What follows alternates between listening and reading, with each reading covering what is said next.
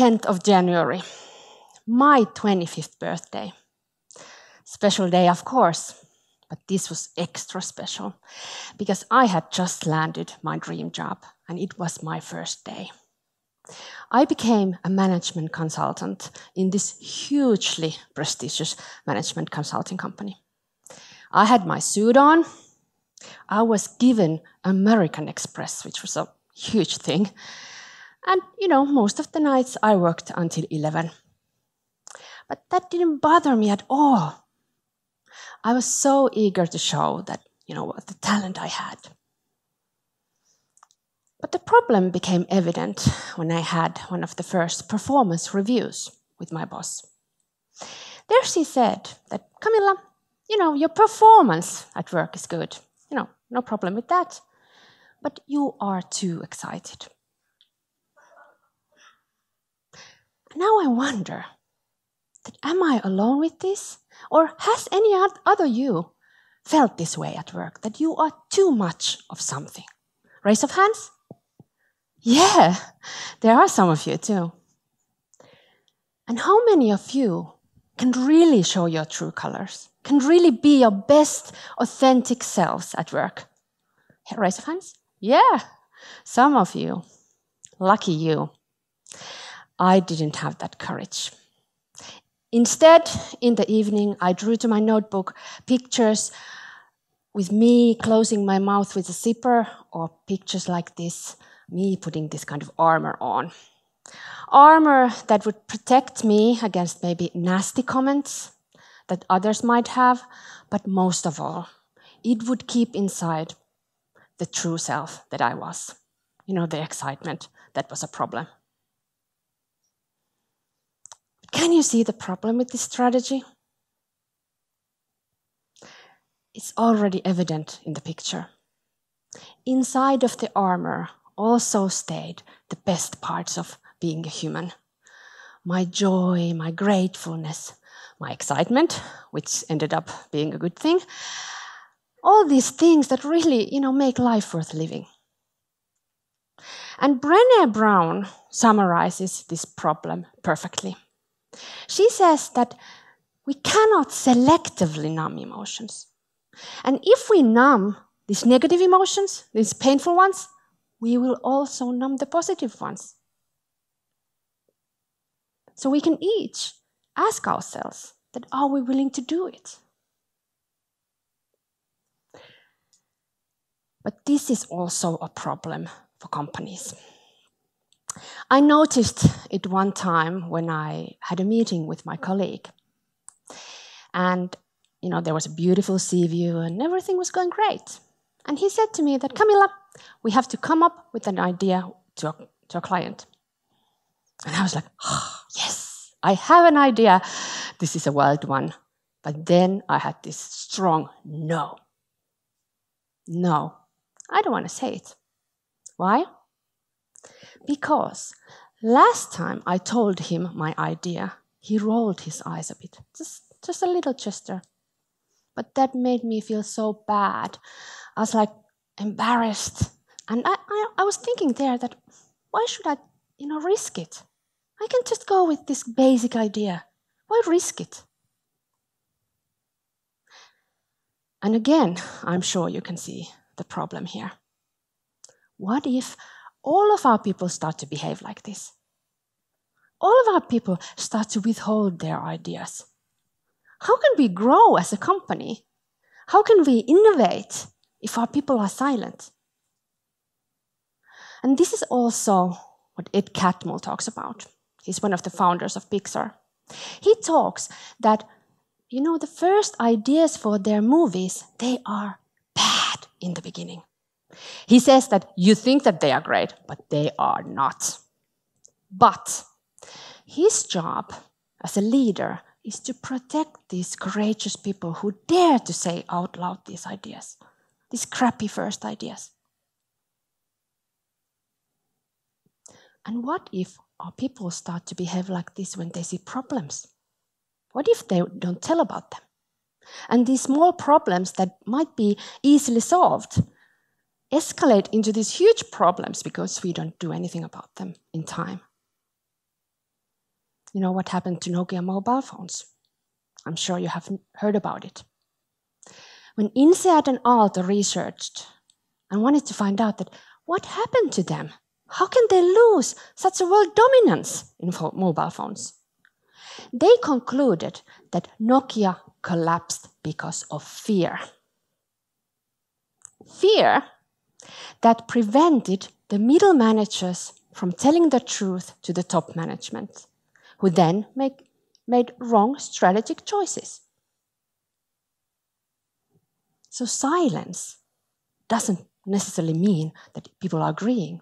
They might be afraid. But what can we do? What, how, how can we create situations where this kind of behavior doesn't grow? How can we create environments where it's okay to say out loud the ideas and the problems? I have good news. We can do it by teaching everyone how to understand and lead emotions. And by knowing how to do these things, we also learn how to have the courage to speak out, but we also, every one of us, need the skills to receive. So we need both of these things. And then we can skip the numbing part we, we don't have to stay in the gray area where it's, yes, it's safe with the basic ideas, but there's no growth. And by learning how to handle these negative emotions, we can open the doors for the positive ones. Just like Brené said. I give you now three simple, but I must admit, quite hard things you can do and the first step is unfortunately that you have to turn the finger on yourself. Not blaming others, but really becoming aware that, okay, how am I behaving? I am, am I the one who's rolling the eyes? How am I taking on when people tell ideas? And this is really important because if we want to create environment when there is trust and safety to say these things, we have to be trustworthy ourselves first. Because the truth will come out anyway. Even though we think that you go, I'm not saying what I really think. You know, scientists say that over 90% of our communications is something else than words. So it's not really trustworthy if your words are saying something and your other communication something else. And also, I'm so excited that in the future it's more allowed to actually be you. Because many of you must know that you know we are going to get a lot of help from artificial intelligence and smart robotics with this linear logical stuff they are, you know, much better at remembering things. And then there is a pressure and also opportunity for us humans to move towards these maybe more difficult things, complex things. Things like understanding social rules. They are not linear. Understanding emotions, not linear. You know, combining strange things, listening to weak signals. These are all still quite difficult to put into the algorithms. And also, it's in the future, it's interesting to know that what are you thinking? What is your perspective? Your unique way of seeing things, your personality combined with your interests and experiences, that is something unique. So in the future, it's more allowed to really show your true colors. So in this first step, I dare you to be more vulnerable. Really show yourself that who you really are and try to be your best authentic self. And when you have learned to become more aware and really stopping the autopilot, then take a courageous look at what you feel. And when I say that, you know, be your best authentic self, I'm not saying be unfiltered self. Because it's not leading of emotions if you're thinking that, okay, I can show my emotions so I can behave any way I want. No, that's swimming in the emotions. But neither is leading of emotions this numbing. That I don't feel anything, I don't show anything, so I must be leading my emotions. No. You are then blocking everything away and maybe creating this time bomb inside of yourself, just waiting to explode. But what are the emotions here for then? And this is maybe the most interesting thing, at least for me, that emotions are here to tell us information.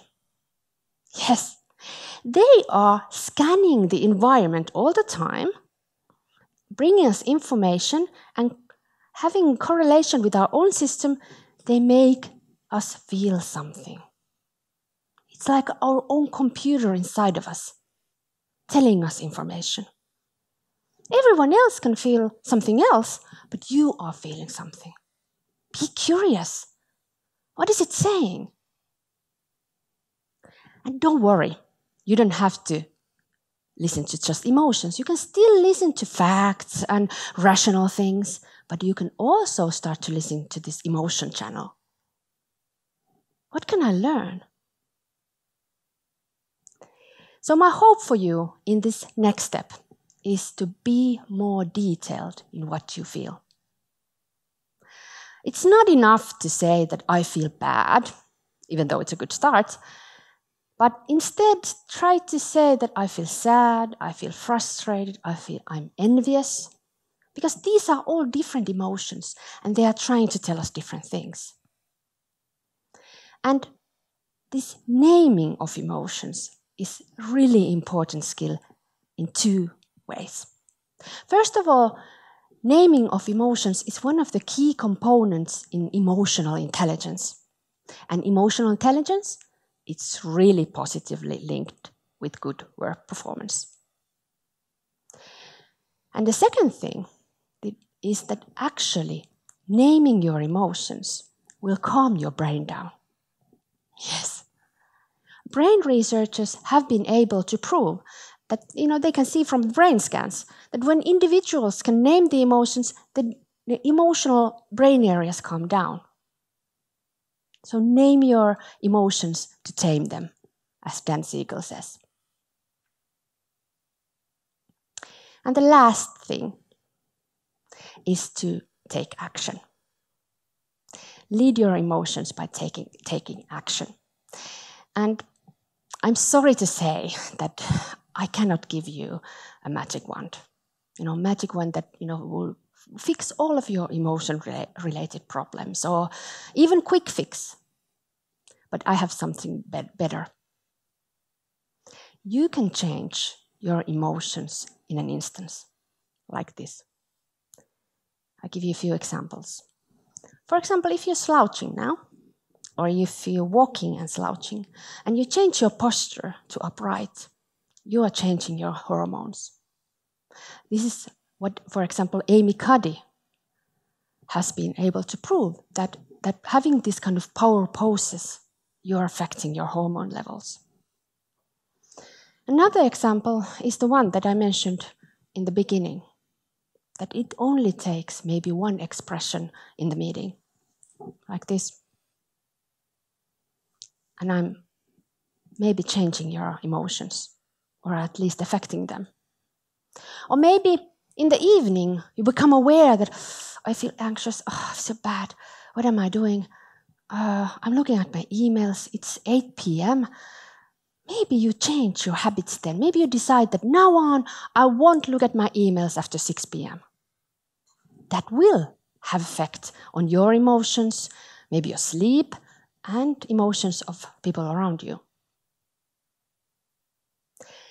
And when individuals start to work like this, you know, stopping the autopilot, becoming aware, understanding what they are feeling, making small changes, when people like this meet, they are going to be more authentic. They are going to create more trust and safety.